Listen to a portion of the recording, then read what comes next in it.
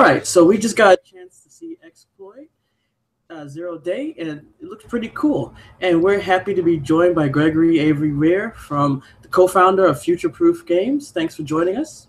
Thank you for having me.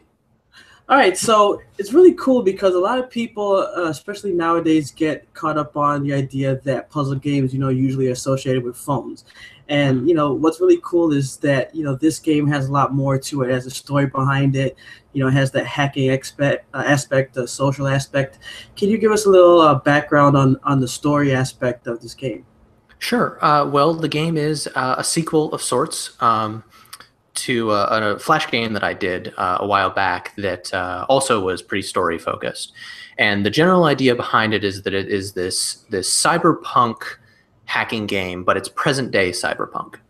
Um, so we try really hard to make all the technology in the game be something that's realistic in the current day. Maybe you'd need to be a really good programmer to implement it, but uh, but it's all something that could actually happen today.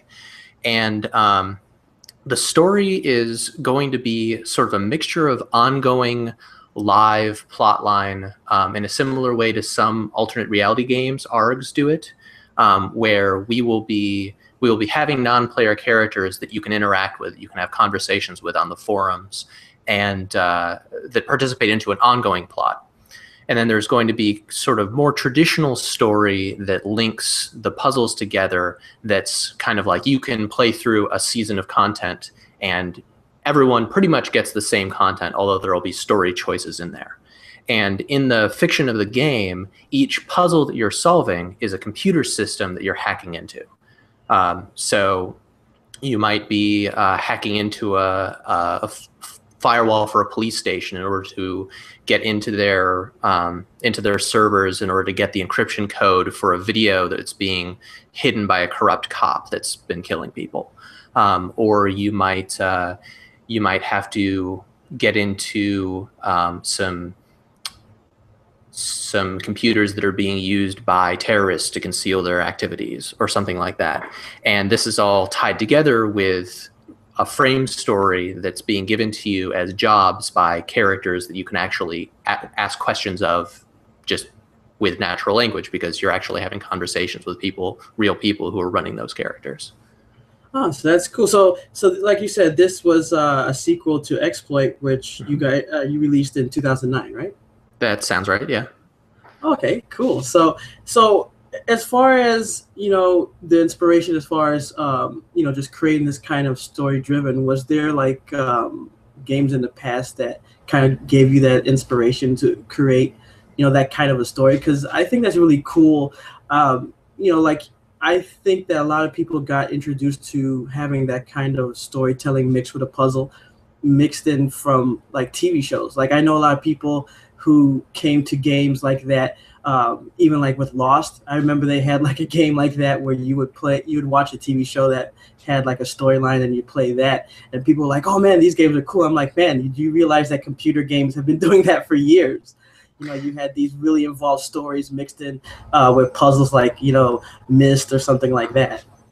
Yeah, I mean, I'm a diff- definitely a huge fan of Myst and various adventure games that have sort of different kinds of puzzles as part of the of the story.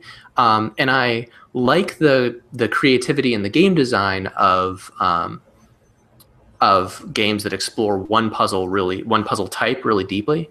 Um, and I there are some that do that. World of Goo was probably a big inspiration for me when I was first making Exploit because it's it's a game that that provides the most bizarre story and world with very strange puzzles, and it makes it all hook together very well.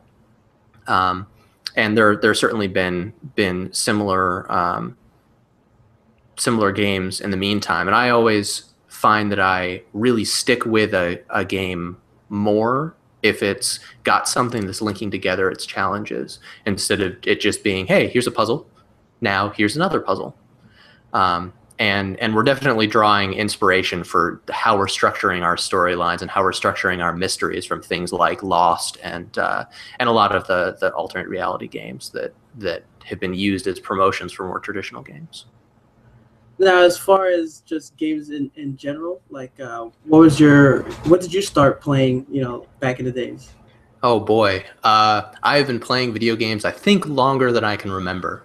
Um, but my earliest games would have been uh, some very early text adventures. Uh, my my dad uh, had an old Atari 800, which um, nice. I am actually not old enough to have used an Atari 800, except that my dad happened to have an old one that I that I played with, um, and uh, and so the old Infocom games, Zork, um, the uh, uh, a lot of the old DOS games. Um, I've been a big PC focused gamer for a long time. I didn't really get into consoles until until adulthood.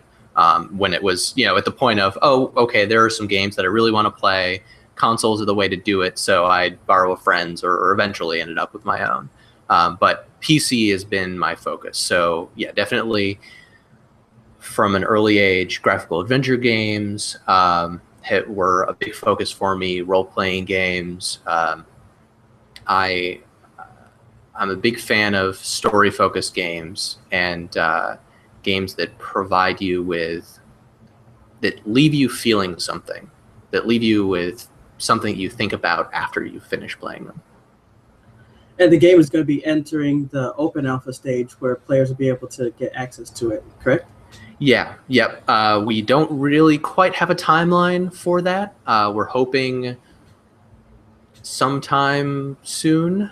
Um, right now, if someone wants to play the game, uh, they can sign up to our mailing list, and we are sending out periodic, uh, every month or two, uh, emails where we're letting a bunch of people in. Um, so if you're interested in the game and you want to check it out, we would love to have you. Um, we're just kind of managing the rate at which new people are showing up right now. Okay, and you can go over to uh, exploitzeroday.com to check that out as well, right? That's right. Yep. All right, awesome.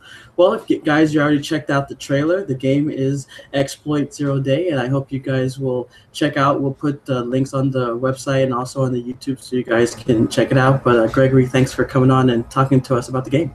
Thank you very much for having me. All right, well, this is Beyond the Game trailer brought to you by Obsolete Gamer. I'm Jay Rock, and we'll be back soon with another trailer and another interview following up with that. But we, until next time, remember our motto never stop gaming. Thanks for watching.